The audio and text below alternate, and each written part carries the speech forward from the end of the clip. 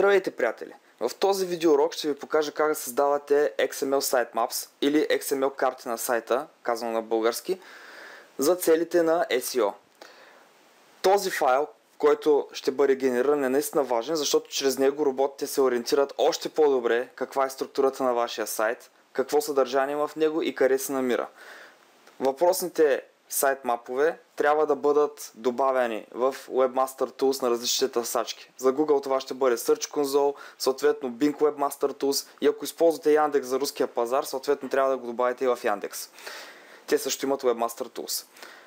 В момента ще използвам отново плагина на Yoast за SEO, тъй като той поддържа и функционалността за светкавично бързо създаване на XML карти на сайта.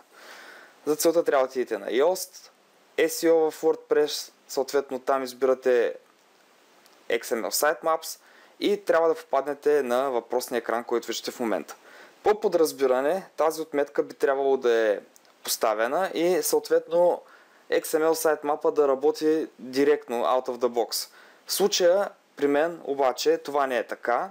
Поради тази причина в момента аз ще поставя отметката и виждам, че се появяват няколко таба, които ми позволяват да настроя каква да бъде функционалността на въпросния sitemap. Примерно, Entries per Page ми дава възможност да въведа максималния брой на записи, които ще бъдат в един sitemap page. Съответно, по подразбиране това са 1000, но ако искате да избегнете проблеми с паметта, може да го намалите този брой и съответно ще има по-малко записи на страница. Този промена се прави в това поле.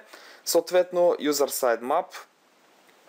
Желателно е да оставите тази отметка както е, т.е. да бъде забранена за Author и за User Side маповете. Нямате нужда от това.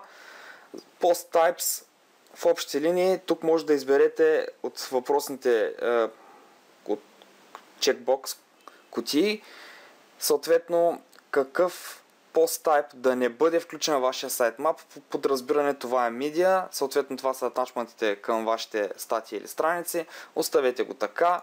Excluded posts. Тук в това поле може да въведете постовете, които не желаете да вкарате в вашия sitemap.